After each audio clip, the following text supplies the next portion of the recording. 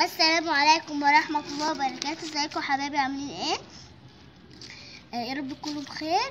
آه معكم رغد في قناة أشهى وألذ المأكولات آه النهاردة إحنا بنقشر معاكم التوم ده عشان هو بيفضى على طول. إحنا قلنا نقشره علشان آه نخزنه. معاكم. شبه ده كده. يعني إحنا كنا مقشرين حبة قبل الفيديو.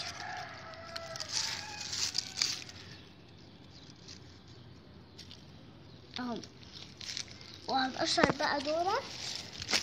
يعني أنا برضو قشرت دي. آه، وبعد ما نضفناه كده يا رغد هنقشره. هنقشره. ونوريكم إزاي إحنا بنخزن التوم بتاعنا. بنخزن التوم. ماما. آه، أنا رجعت لكم تاني أهو يا حبايبي. بقشر التومة بالسكينة. علشان أنا جربته مرة بضوافري حرق لي صوابعي. فاحنا هنعمل في هن... هنستنينا نملى الجردل ده واما نخلصه برضو هن... هنشوف هن... هنخزنه إزاي بصوا؟ بقشره. والقشر هنسيبه عشان هنعمل فيه حاجة تانية برضو عشان هنضربه القشر- في الخلاط. طري عشان القشرة إيه طرية طرية مم. هنضربها في الخلاط مع فلفل أخضر وشطة وتوابل ويبقى ده لتتبيلات السمك يبقى طعمه جميل جدا. آه افتكرت مع تتبيلات السمك. ليمون آه. كله ينضرب في قلب الكبة بتاع الخلاط. آه. دي ماما كانت بتعملها لنا برضو بس كان طعمها تحفة. يا ريت برضو تبقى تجربوها علشان نبقى كلنا توأم. نبقى كلنا نعمل شبه بعض على طول.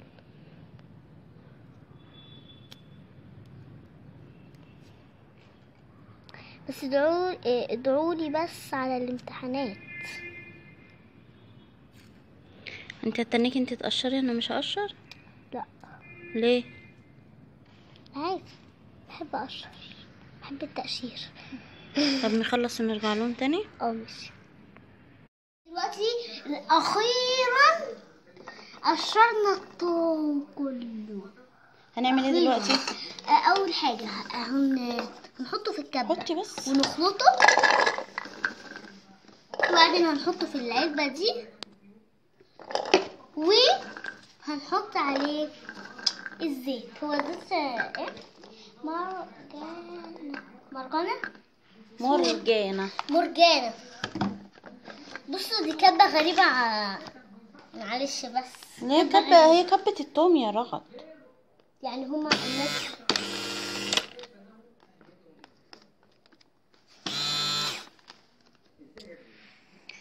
ثواني هخلي رغد هي تمسك التليفون.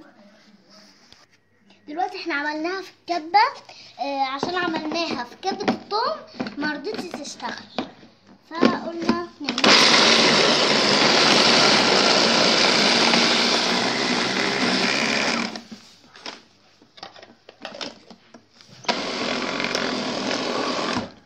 أنا أنا محضرة لماما الثوم ومستنياها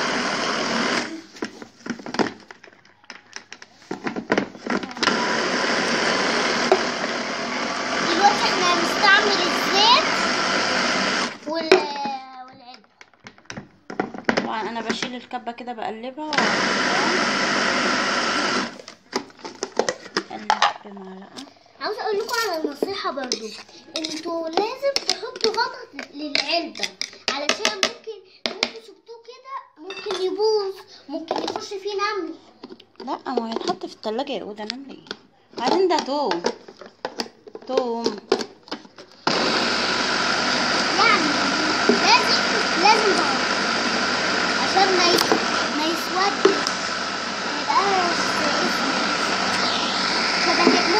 هو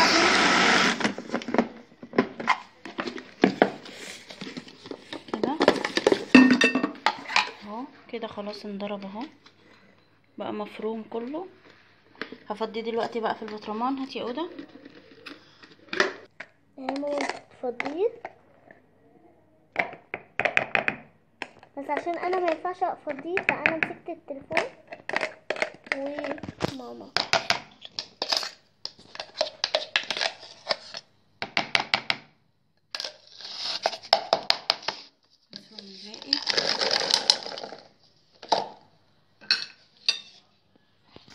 دلوقتي بعد ما ماما طحنته كله طحن بصي الريحة بقى.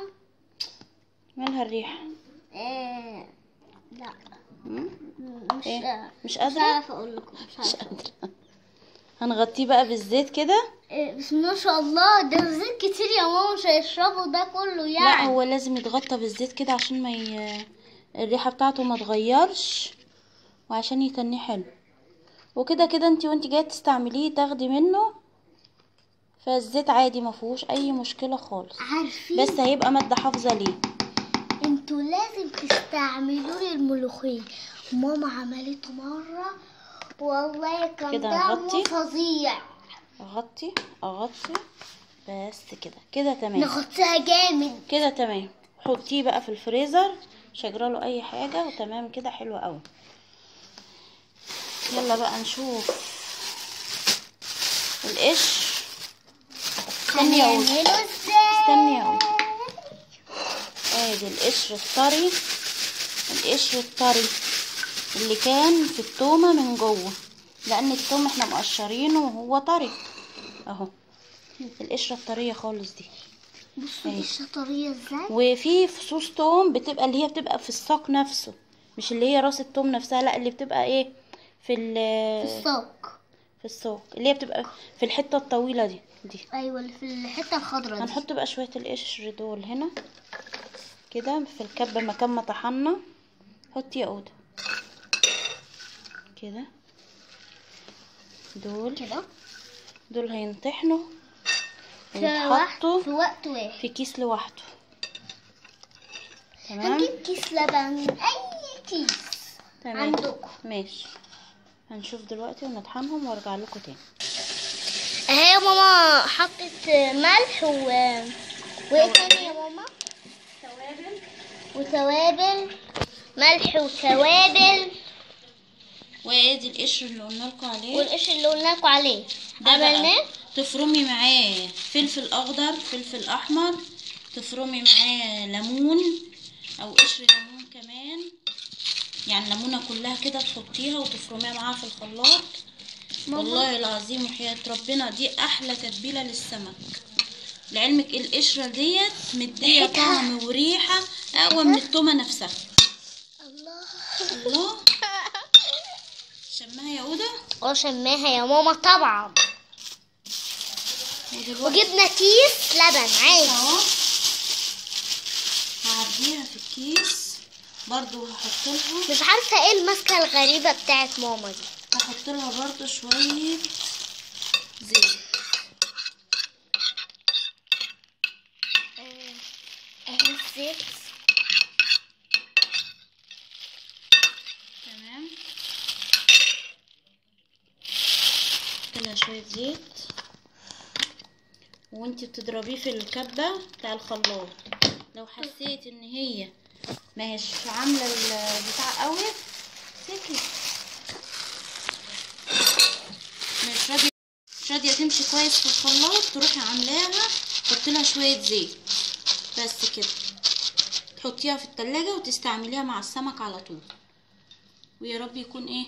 الفيديو عجبكم ما تنسوش تعملوا like وال share وال subscribe وال comment وما تنسوش تفعلوا زر الجرس.